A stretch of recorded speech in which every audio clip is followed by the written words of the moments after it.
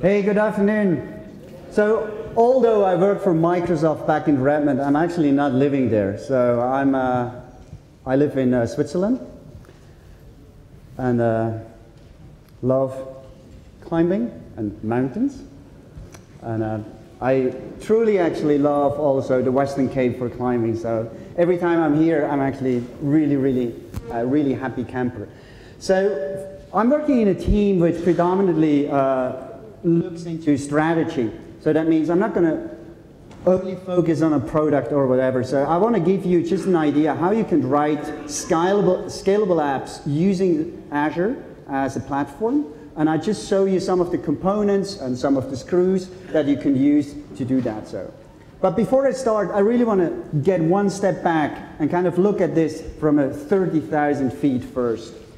I think what the cloud really gives us, so the one thing I think really changed our industry, it democratizes access to scale and reach. Just digest this a little bit. Access to scale means we have a team of two people. They created a weather forecasting system, which is now running on Windows Azure. If you think about it, Cray Computer actually got invited to do weather forecasts. Now you yourself, as a team of one or two people, can do the very same thing that previously only very large organizations were able to do. So access to scale, democratized. I think it's brilliant. To reach, I have many, many partners and customers I'm working with. They don't have a single customer in the country they live. Now you can look at this from a opportunity perspective, but you can also look at this from a threat perspective. There are a couple of Indians which are fairly good in computer science. They will get access to scale and reach. Or you have the ability to access the Indian market because you actually have to reach. So there are two sides of this, but that really drives me. I think that, that economical part to the whole game I think is tremendously interesting. So if you look at the spectrum of IT services, I would split them into two things. Whether you own the hardware or you, uh, or you pay as you go. So that's basically the cloud model, you pay as you go. And then the second dimension really is whether you manage it yourself. And only platform as a service and software as a service gives you the ability that you don't need to care about OS patching, load balancer configurations, and all that nitty-gritty stuff. And I'm focusing now on platform as a service, so I want to show you how you can write code and automatically deploy that stuff on Windows Azure. So if you talk about Windows Azure, we actually use our data centers for this that we also use for our other online services, whether this is Hotmail, Bing, Xbox Live, and so forth.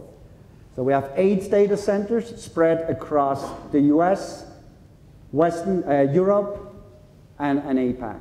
And then the green dots are actually our edge nodes, so where we allow you to cache content at the edge of our own backbone. The SLA that we give you is 99.95, which means the most 20 minutes a month. So the system is down the most 20, 20 minutes a month which includes actually repatching the system while we go, uh, you actually deploying new applications and so forth. And I'm going to show you a mechanism that we built into the platform that allows you to do this in an easy way. But before I continue, although it's called Windows Azure, this is by no means restricted to Microsoft technologies. I mean, we worked with Linux, and we have, for instance, Ubuntu, we have SUSE, running if you want to use infrastructure as a service. But more interestingly, we worked with the Node community and made Node a first-class citizen on our platform as a service offering. So if you have a Node project running in a GitHub repository, you can link this up automatically, and every time you commit something to your branch, it's automatically deployed to your Windows Azure platform as a service. So you're always going to have, for instance, your latest version for testing deployed on one of our servers. So as you see, we're even working with end solutions. So uh, one of the stuff that we do, we have a MySQL as a service offering. So that means MySQL managed by ClearDB. And we use this, for instance, for our WordPress installation that also runs uh, in a shared hosting uh, on websites. So that's very, very important. And it's also not like we did this beautiful thing in the past where we took to a, went to an open source project like Python, uh, and then we took Python and we made IronPython out of it. Uh, this is not the approach where we, we take actually here. What we do is we really work with the teams to make their project a first-class citizen and work best on Windows Azure. That is the approach we take there.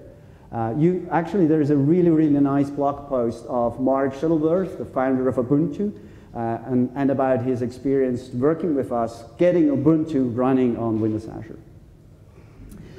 So there are four areas I want to cover today, and I only can scratch on the service, obviously. The first thing is I want to introduce you to something that we call cloud services. And uh, cloud services is a mechanism to write highly scalable solutions.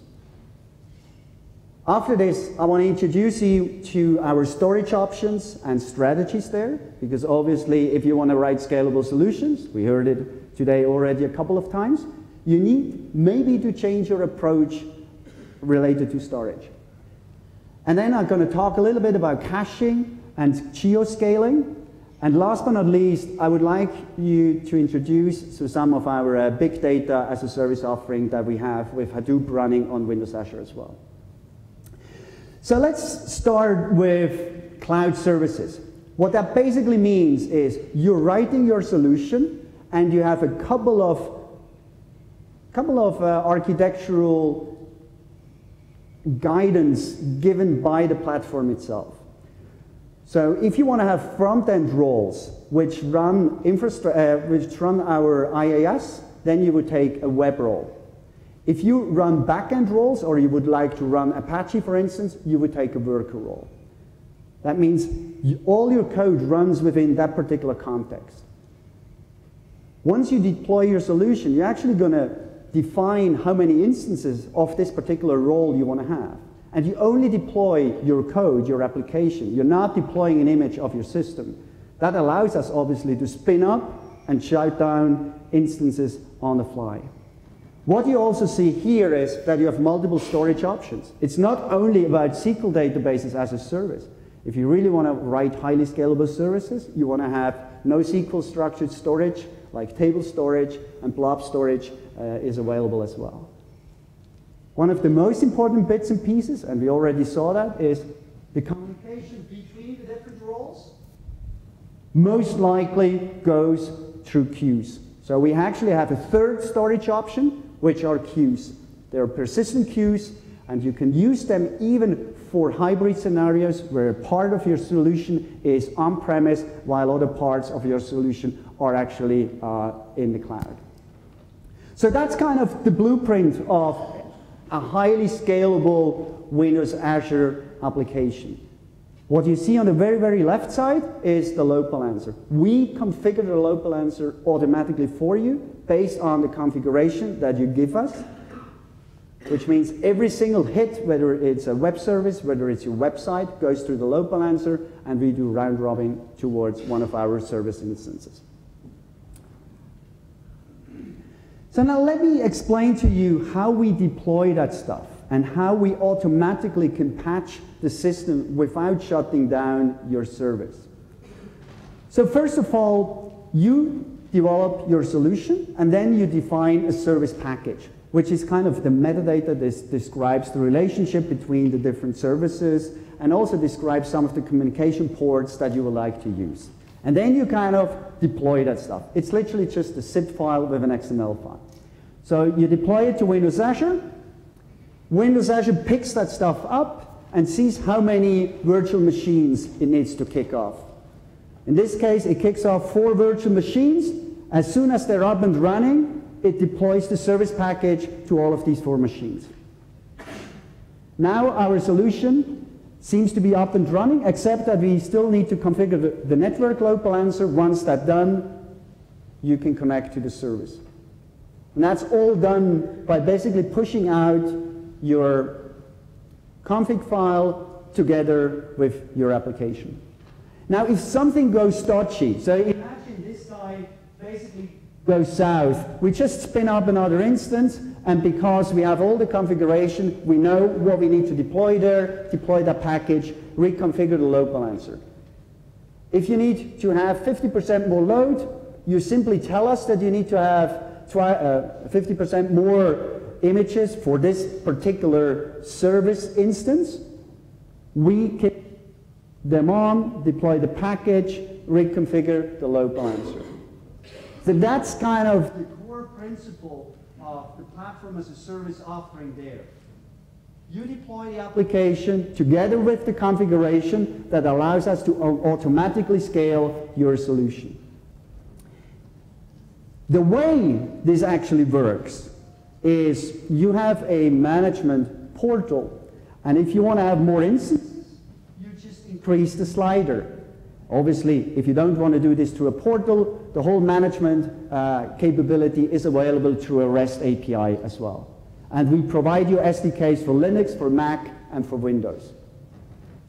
Actually, what you see here is our uh, weather forecasting solution. So on the very top, you see the head node of the HPC cluster, which is a medium-sized virtual machine. The middle one is actually the front end, just the website, which is again a medium-sized VM. And then on the bottom is really kind of the compute nodes that we use to run a forecast. And as you see, you actually use larger virtual machines or extra large instances, which come along with more memory.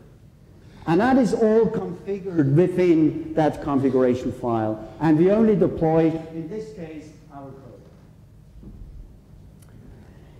Now, I was talking about we are able to upgrade the system without taking it down or uh, without affecting, you know, uh, your system that much. So we we provide you at the SLA of 99.95 if you have at least two instances up and running. So that's what we require to do this.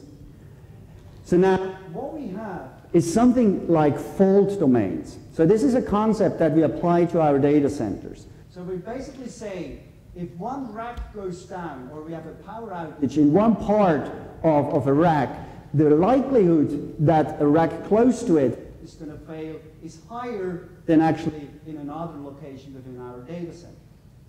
So we're going to ensure that these instances are actually spread across these so-called fault domains. You can't say how many fault domains you want because this is something which is given by the way we design the data centers. But the second thing is called an upgrade domain. And that is something you can define how many of them you really want.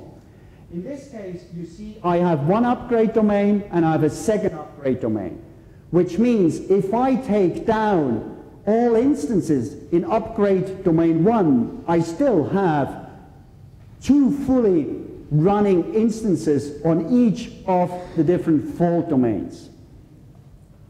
So for instance, if you have a service which runs at 10 instances, and you decide you're going to have uh, something like five upgrade domains, then actually eight instances are all the time running as spread across the two fault domains. And this is the way how we can automatically patch the underlying operating system. Uh, this is also the way how you can upgrade your solution. There are other ways. So for instance, you could do a, a VIP swap, so a virtual IP swap. So you could build up a staging environment. And then at the, at, at the point X, you would then suddenly say, now I want to have my staging environment going to be my live environment. But obviously, if you have 100 instances or 200 instances, you don't want to have a staging environment which eh, may, might reflect 100% your production environment because that can be fairly, fairly costly.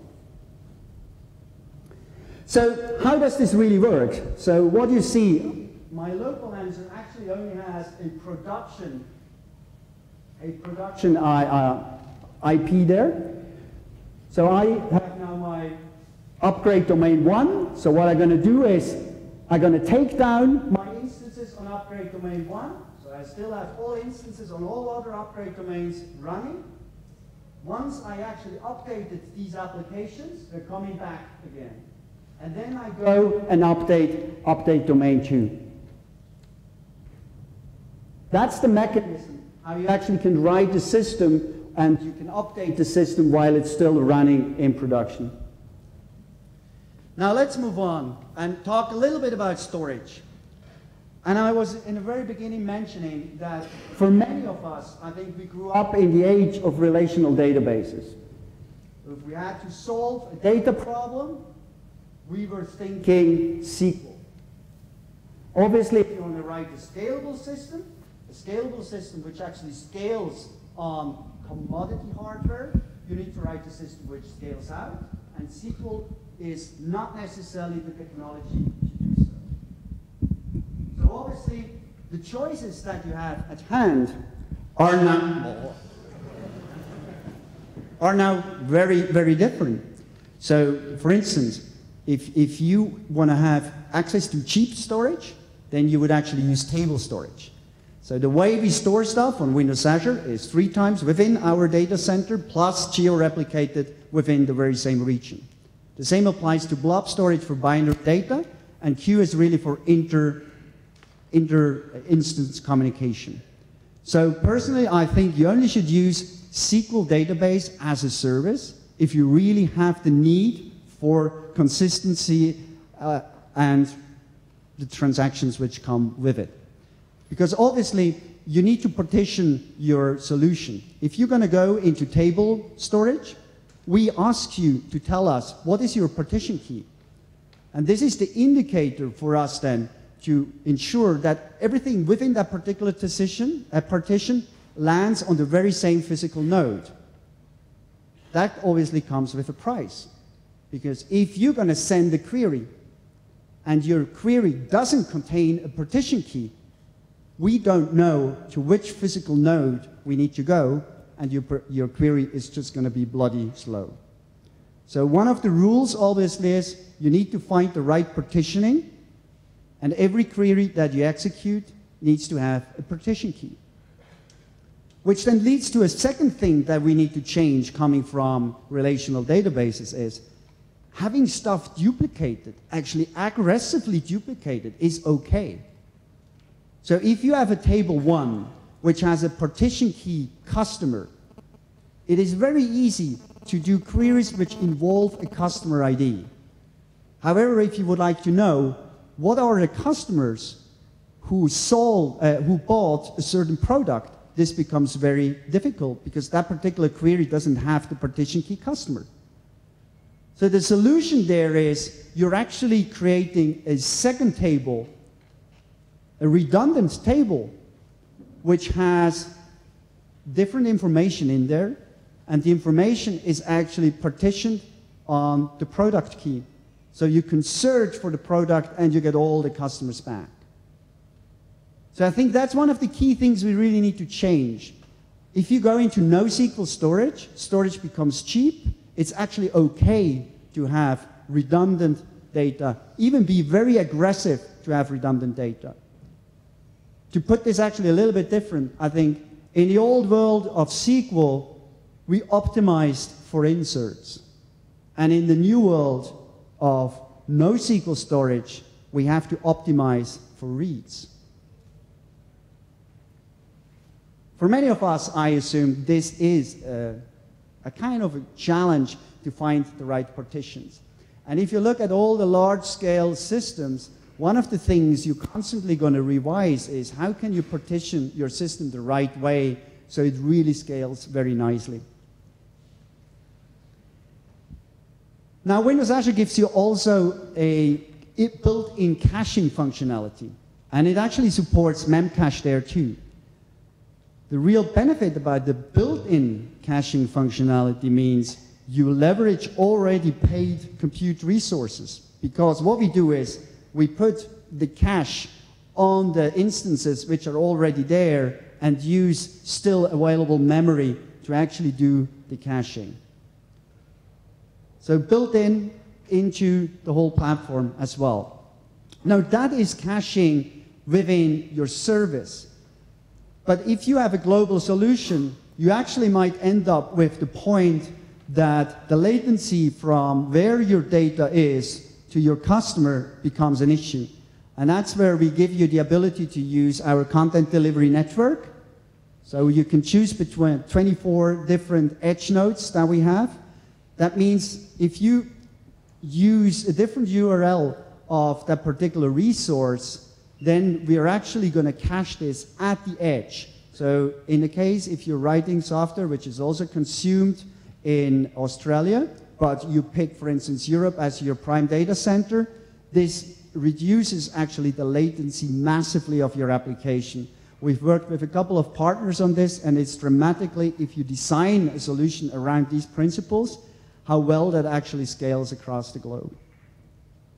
And the last thing about scaling globally that I would like to introduce you to is something that we call the Windows Azure Traffic Manager, which means the URL that you give to your customers to address, uh, to, to access your, your solution is not necessarily the URL he's really going to hit later on. Because he first goes to the traffic manager. Traffic manager realizes where this, where, where this person is located and actually knows what is the fastest or, or the, low, the shortest latency to get there and redirects him to the actual instance. So if you, for instance, have multiple data centers that run your solution.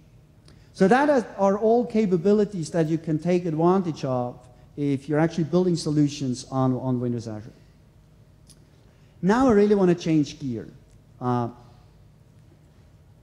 I personally believe uh, that in a couple of years, we just realized that having data IP is pure currency. Just a quick question. So who of you stores all the log files of your servers? All. Okay. Everyone else throws away quite some interesting data. And one of the reasons why, why we do this is because storage was expensive.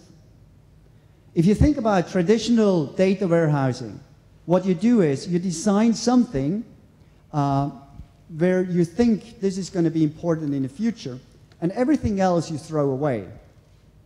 So you're never going to get more out of it than what you put in. So even in five or six years, you're limited to the data that you thought is going to be useful under the conditions six years back. Now, because data becomes tradable, if you think about all the open data and all that stuff which is going on, you're going to get more data sources that allow you to correlate data. So which means if you just wouldn't have thrown away your weblog data because now you got very interesting data coming from another source that you could use to correlate and really make business sense out of it. So for me, that is a, a tremendous opportunity going forward and really thinking about data a little bit differently. I mean, we already have uh, a couple of startups that really sell data.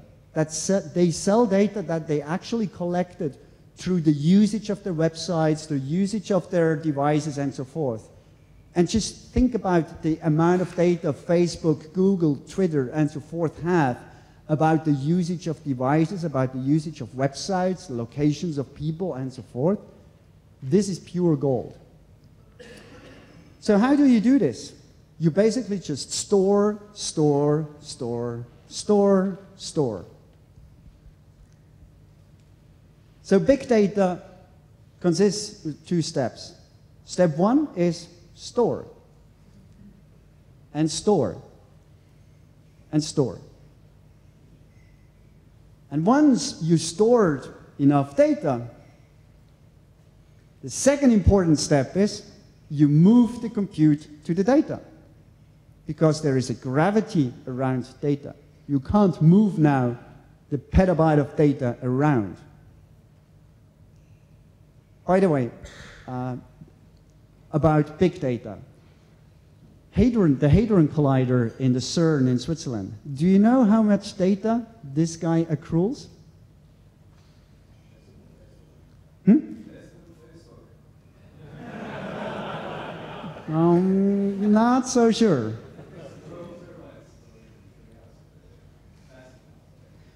Any, any bets? It's one petabyte per second. Do you get one petabyte per second? now think about it. What is the hard drive size you have? Just roughly. You, would sell, you would, yeah, you would buy 50 hard drives a second, isn't it? I mean, that's a real big data problem. But to, to be very real, you have a big data problem as soon as your data can't be stored on one physical node. This is the smallest big data problem that you're going to have. But as soon as you have to be storing that stuff on more than two nodes, you need to move compute to the data because you can't move the data around. And that's why the CERN uses Hadoop to solve their problem. Who, who knows about Hadoop? Who knows it very well? Okay. So I'm not boring you then. Okay. So first of all, to really understand Hadoop, uh, Hadoop is based on a distributed file system. That means you can have ten thousands of nodes, and it looks like Wow, it's one big drive. So that's one concept. You have a distributed file system. And I know customers who only use it for that particular person. You can have multiple nodes in parallel, and you can store stuff there, and you don't need to care how it's stored. That's the storing stuff I was talking about. But as soon as you want to do more than storing, if you want to retrieve stuff, you kind of need to move compute to these thousand of nodes. And that's where we're going to have MapReduce. MapReduce is the algorithm that allows you to split a compute problem and run it in parallel on multiple nodes. And the interesting thing is, you're just going to get one result back.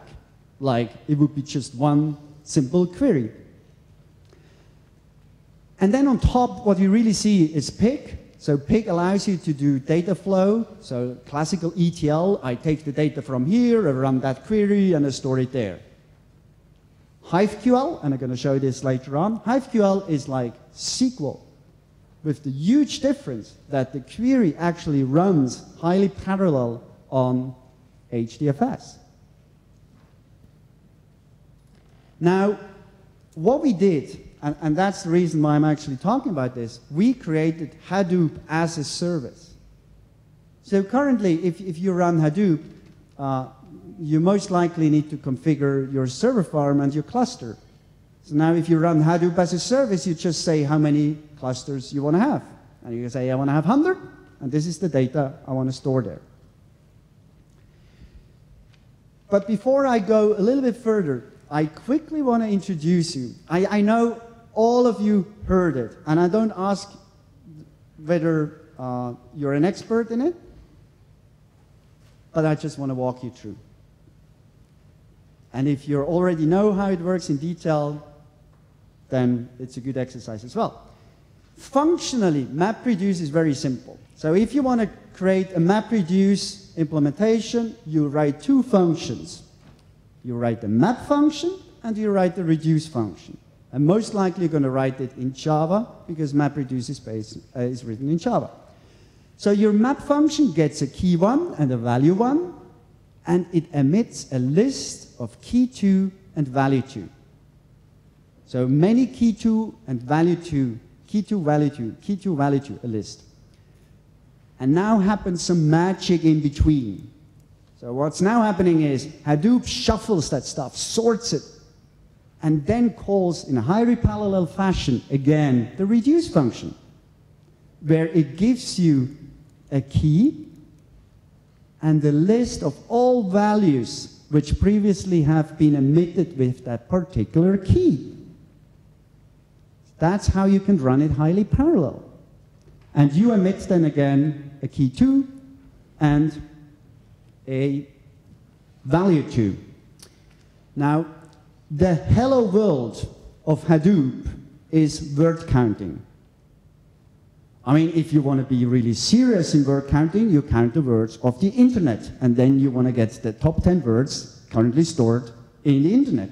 That's possible. Or a library, or a book. That's the hello world of Hadoop. What you see here is JavaScript code, because we have a JavaScript implementation of uh, Hadoop that allows you to write actually Hadoop stuff in JavaScript rather than Java, which you can imagine makes it much, much smaller. Over here, key value, what I actually get is either the book, the internet, or just a line of the book. And then I split this into words, and for every word, I do nothing else than emit the word as the key, and then a value one. I'm not counting, because I do highly parallel stuff. I don't know, you know, how much I get. Maybe it's a stream. So I emit the word and one. And then the shuffling takes place, and the reduce function then gets the word and the value, and the value is 1. But because I get a list, I can now nicely iterate over this and just add the values together, and after this, emit again my key, which is the word, but then the sum of that particular word.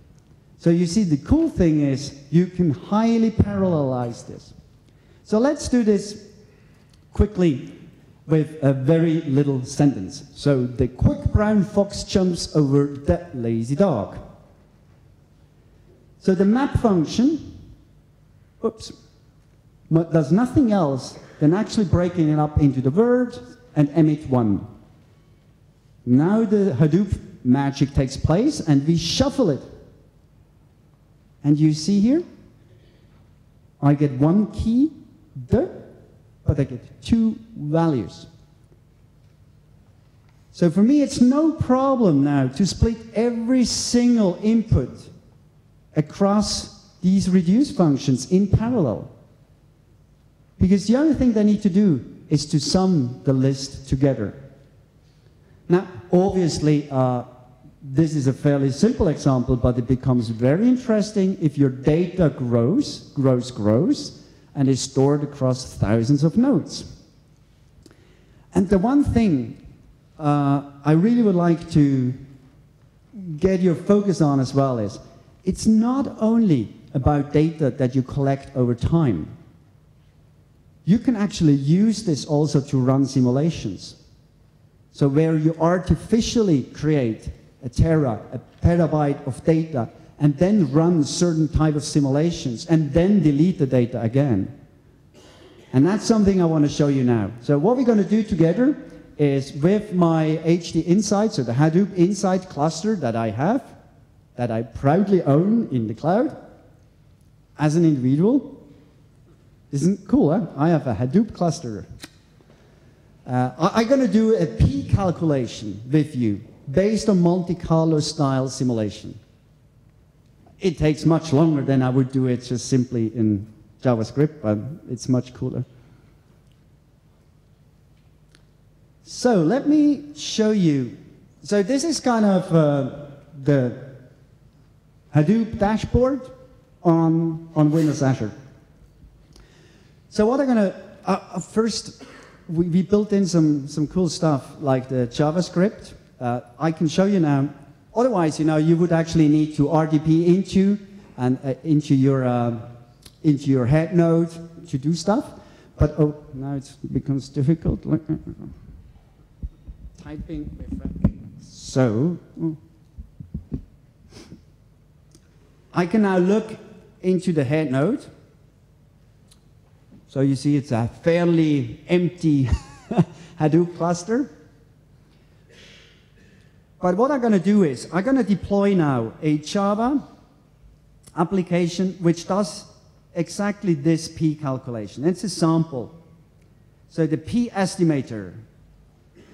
So the way we do this, I can quickly show you this. So we're going to plot, so we're going to create 16 squares. And then the map function does nothing else than plot randomly 10 million dots. And the reduce function then is going to count how many of these dots is within the circle and how many of these dots is without the circle, uh, outside of the circle. And obviously, by having this, you can just see that uh, you can then simply calculate uh, 4, then everything inside divided by the total. Fairly simple. So let's deploy this to my cluster.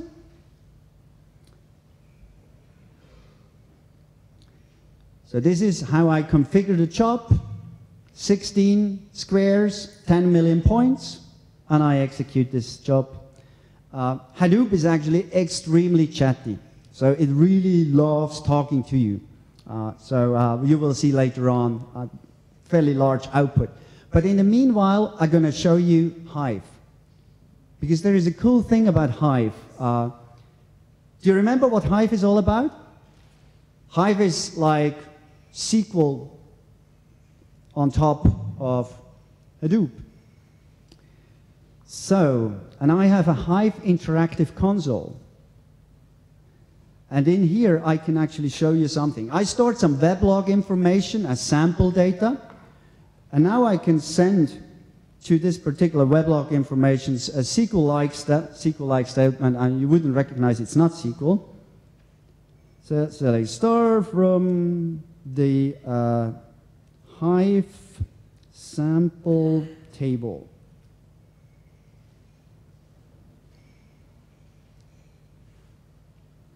And I get a tabular output now.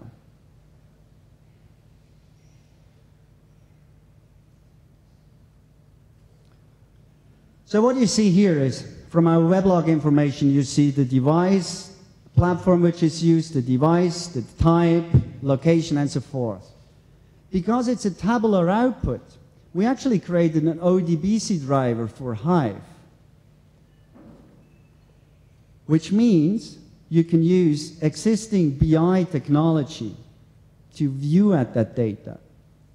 So what you see here is nothing else than this data overlaid over a Bing map on Power View in Excel, which shows you the bigger the dots, the more people visited our site. Not bad. So in terms of don't throw your web data, weblog data away. But that's only part of the story because I also can now have my device platform. And I kind of see that RIM, which is that green stuff, seems to be very popular, popular on the East Coast. Seems to be a banker DC or something like that. Android heavily overtook uh, iOS on the West Coast, and there is an okay population of Windows phones in Washington.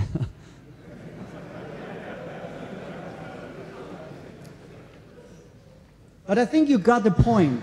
Starting out with big data, do some number crunching on top of this, then put it into a format that other people really can make business decisions with, or you're actually offering this data on a marketplace and see it as part of your business model. So I personally think big data and now with this democratized access to scale cheap storage in the cloud opens up tremendous opportunity for every one of us. So with this, I kind of heading back to my presentation, would like to close on what I just showed you. So first, if you want to write highly scalable applications on Windows Azure, you will actually use cloud services. It gives you multiple storage options and capabilities. We provide you with the caching infrastructure in place within the service, but also geocaching and even a traffic manager. And then last but not least, really come up with a big data strategy because as soon as you're going to store your data on more than one drive, you kind of have exactly that particular problem that you need to move compute to the data and not the other way around. So with this, uh, the only thing I can say is you get actually 10 websites for free, so you can start there. With a website, I mean, you can deploy your Node.js applications, you can deploy your PHP application, your Rail application, or whatever. We even have something which is called mobile services. You get 10 of them for free as well. Uh, so you don't need to spend a single buck to kind of experience what it means uh, building solutions with platform as a service. Uh, do we have time for some questions?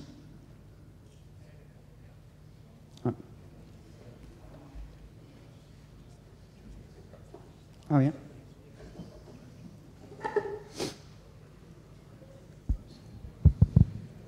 Questions?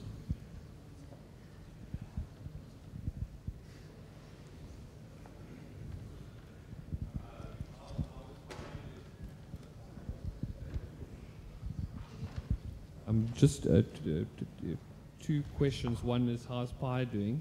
But um, and the, how is Pi? Oh, yeah. doing? Yeah. Oh. Thank you.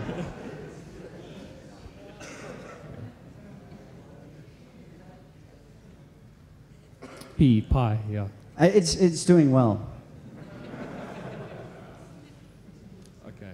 And the second one was when you did the select statement. Um, the, the weblog was is that a flat file stored in that file system? No, uh, so what we, when I did, uh, I actually create the configuration of that particular uh, tabular up front. So this is something you can actually do, uh, do through Hive, yeah.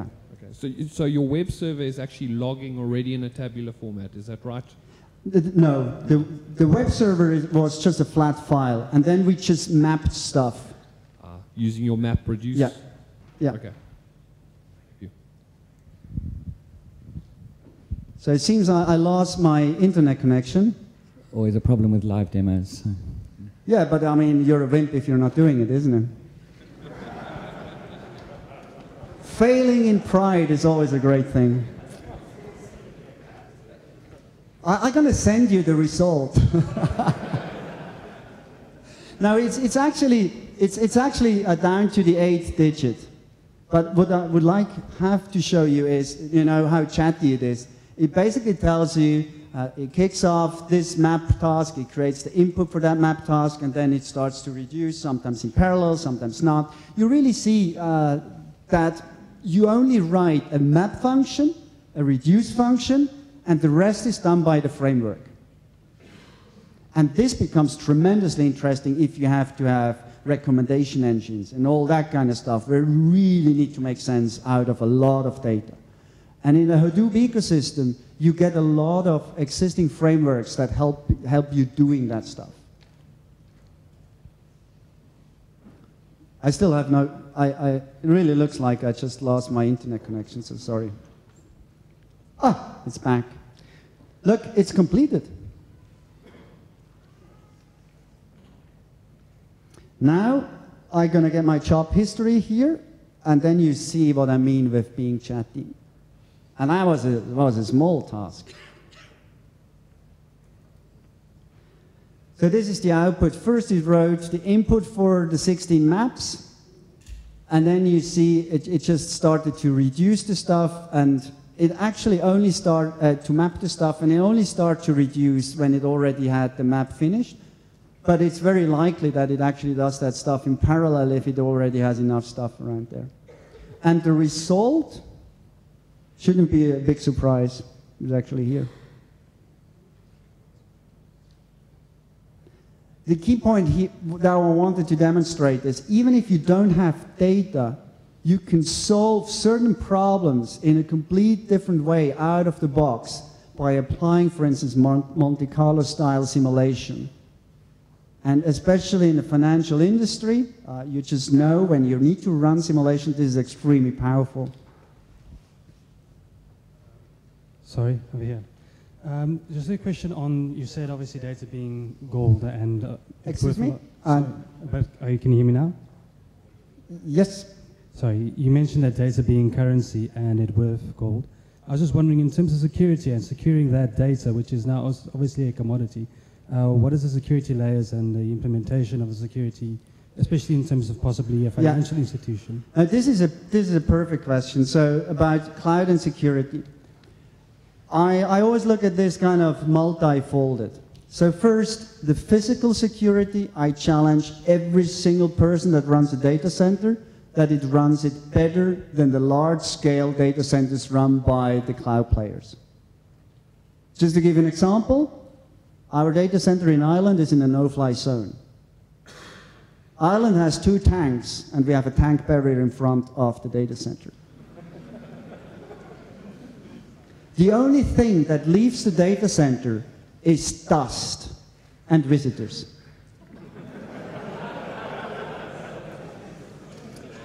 now, if we get into data, you know, more the regulations, the compliancy, and all that stuff, that's really a different story. I personally believe that not all data will live in the cloud. So that's why the future of enterprise-like solutions is basically hybrid. You need to know what workloads you can actually offload into the cloud, what is the data that benefits from the economy of scale of the cloud, and what stuff makes sense to kind of keep close to you just because of compliancy and regulations.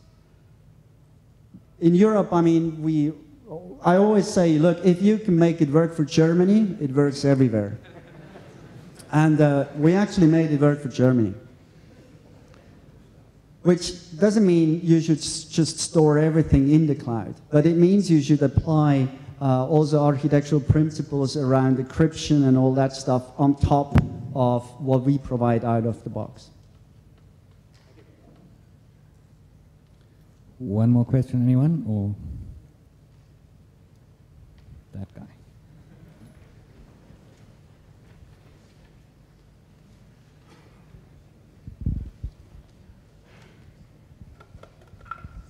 Uh, two quick questions. Uh, the first is, uh, do you have an edge server in South Africa? Where's the nearest edge? No?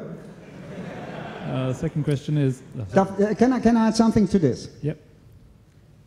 Look, I was in, I was in New Zealand, and uh, New Zealand is way worse than South Africa in terms of bandwidth.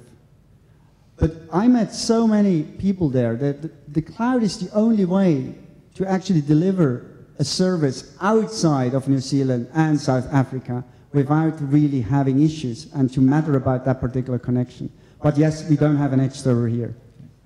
Uh, and then uh, your virtual servers are all strange sizes, like 1.75 gigs. Uh, they're not, you know, 2048 or, or 512. Uh, wh- why are the, why are they weird sizes?